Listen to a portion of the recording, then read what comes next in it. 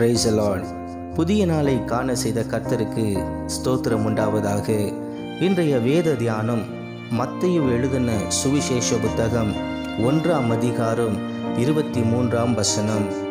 அவருக்கு இம்மானுவேல் என்று பெயரிடுவார்கள் என்று சொன்னான்.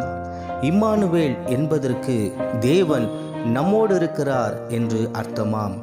பிரியமானவர்களே ஆண்டவராகிய இயேசு கிறிஸ்து இம்மானுவேலராய் உங்களோடு இருக்க போகிறார். ஒருவேளை நீங்கள் யோசித்து கொண்டிருக்கலாம் நான் தனியாக இருக்கிறேன் துணையில்லாமல் இருக்கிறேன் என்னால் இதை எப்படி செய்ய முடியும்? தனி ஆளாக இருந்து எப்படி என் குடும்பத்தை நடத்துவேன்? எப்படி கடனை கட்டி முடிப்பேன்? படிப்பு திருமணம் குடும்பம் செலவுகள் இதெல்லாம் எப்படி சமாளிக்கப் போகிறேன்? என்று நீங்கள் கவலைப்படலாம். பிரியமானவர்களே ஏசப்பா உங்களோடு இருக்கிறார் உங்களை அற்புதமாய் நடத்துவார். வேதத்திலே யோசுவாவும் இப்படித்தான் கலங்கி நின்றார். ஜனங்களை எப்படி நடத்துவேன்?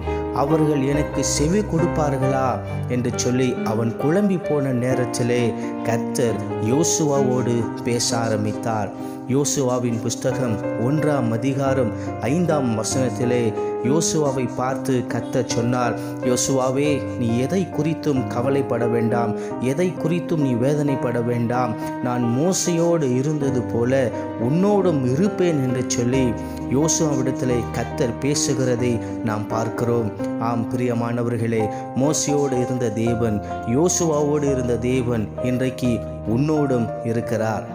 உன்னை நடத்த வேண்டிய வழியிலே நடத்துவார். முடிவிலே மகிமையில் உன்னை ஏற்றுக்கொள்வார். ஆமேன்.